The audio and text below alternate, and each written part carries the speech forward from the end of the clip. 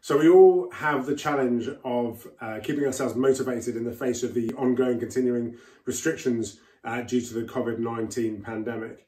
So we thought we'd uh, do something to try and help people get their brains going on a, on a, on a Monday morning. So we're going to start a weekly quiz, um, aviation security um, analysis focused quiz. Um, it'll come out every Monday morning, um, starting on the 27th of April. It'll Be about five or six questions. It's just for fun. Um, you know, 24, 48 hours later, we'll, we'll publish the, uh, the, the correct answers um, so people can see how well they've done.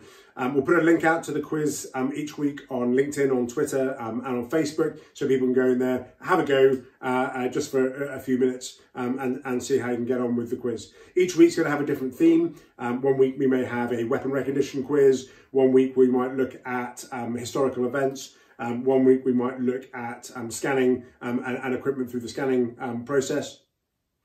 Uh, but really, it is just for just for fun and enjoyment and get to, to, get your brains working on a Monday morning.